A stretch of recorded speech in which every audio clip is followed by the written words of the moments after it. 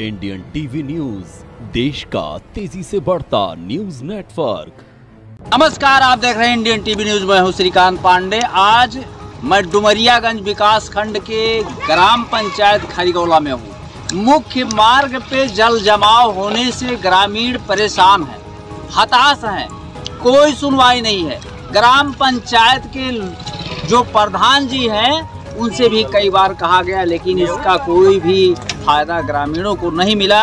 आने वाले समय में ये ग्रामीण बिल्कुल गिरकर चोटिल भी कई लोग हुए हैं और बीमारियों से भी घिर सकते हैं। इसी पे आपको एक रिपोर्ट दिखाते हैं। क्या नाम है? क्या कहना चाहेंगे? ये हम कहना चाहते हैं कि मतलब नाले के ऊपर मतलब तीन चार लोग गिर चुके हैं जी। जी बीच में। ठीक है? इस रास्ते में एक आदमी का पैर टूट गया अभी। इस तरफ़ मतलब कि मतलब है बंजर है इस तरफ़ है। तो इधर निकल जाए इधर निकल जाए। नाली निकलना चाहिए। नाली निकलना सबसे बड़ी समस्या आपके गाँव की है पानी बाह की।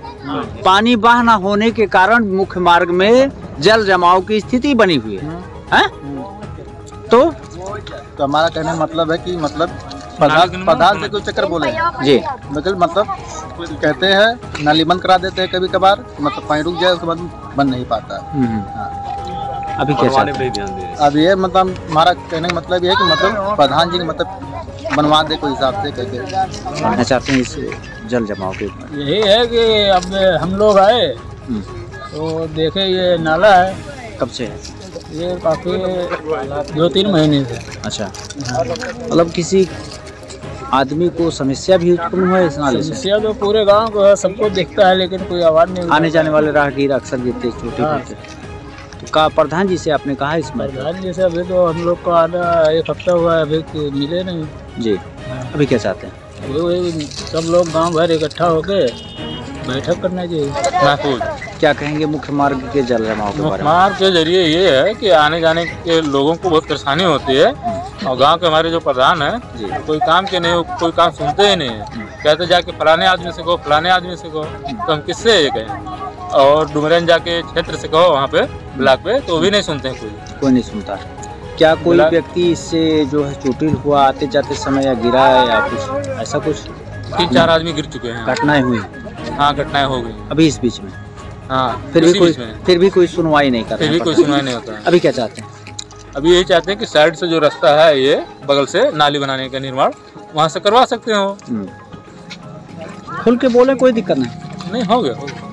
हो भी क्या नाम है आपका? अहमद नाम है। क्या समस्या है? समस्या यही नाली वाला है। हम्म, मैं से? अभी दो दिन पहले मुंबई से आया। जी। तो मैं समझा किसी ने तालाब खुदाया है मछली उछली जिलाने के लिए। जी।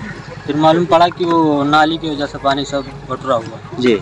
हाँ। क्या आपने कभी ग्राम सभा के पंचायत प्रधान जी को अवगत कराया इस मामले में? तो कभी नहीं किया लेकिन मेन रोड पे है तो हर बच्चा मालूम है कि ऐसा ऐसा प्रॉब्लम है यहाँ। बताने की ज़रूरत नहीं है किसी को। क्या आपने कभी शासन प्रशासन को अवगत कराया इस मामले में नहीं अभी तो किसी से नहीं किया हूँ लेकिन ये आज से नहीं है कम से कम छः आठ महीने से। जी। सब लोग ऐसे आते जाते हैं इसी में। अभी क्या चाहते हैं? और बहुत लोग तो रास्ता चेंज कर दिए हैं उधर। अभी चाहते हैं कि किसी हिसाब से हो जाए वहाँ तक नाली टेस्ट करना है बस। ओके। ये जो जल जमाव मुख्य मार्ग पे क्या कहेंगे इसके बारे में? है ये दिक्कत है थोड़ा गंदगी का पानी है। जी। नाला इसी में से आप लोग आते जाते हैं? हाँ दूसरे रास्ते से आते जाते हैं। मुख्य मार्ग यही है ना? हाँ यही तो काफ़ी समस्या है इससे हाँ है। आने वाले समय में रोगी भी हो सकता है व्यक्ति। हैं? स्वास्थ्य संबंधी काफ़ी बीमारियाँ फैल सकती हैं। तो क्या चाहते हैं अभी? ये नाला बनना चाहिए। नाला बन जाए जिससे आप लोग समस्या का आप लोगों के निदान। हो? प्रधान जी से कभी कहा आपने? नहीं अभी तो तीन चार दिन हुआ है आए हुए मुंबई। अभी प्रधान जी से मुलाकात नहीं हुई है। प्रधान जी से मुलाकात नहीं अच्छा शासन प्रशासन से क्या कहना चाहेंगे? क्या ध्यान दे संदेश इस पे और क्या? ध्यान दे। और बने। बने। आज आपने देखा इंडियन टीवी के माध्यम से विकासखंड डुमरियागंज ग्राम पंचायत खारीगौला की मुख्य मार्ग की समस्या से आपको अवगत कराए। हमारे न्यूज़ को लाइक सब्सक्राइब ज़रूर करें। बहुत बहुत धन्यवाद। इंडियन टीवी न्यूज़ देश का तेज़ी से बढ़ता न्यूज़ नेटवर्क।